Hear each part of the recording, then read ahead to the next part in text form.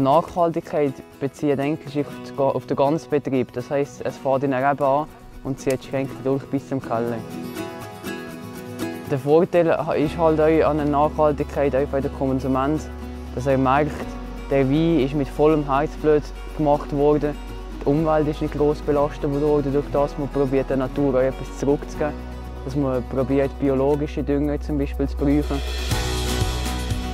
Und der Konsument will natürlich, dass er mit gutem Gewissen kann seinen Wein kann.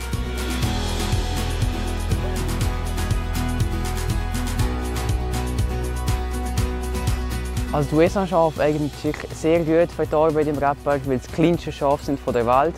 Dadurch passen sie sehr gut in den Reben durch, können überall das Gras fressen, was noch etwas hat, düngen den Boden sehr gut und die mit ihren kompakten Klauen den Boden gut verdichten.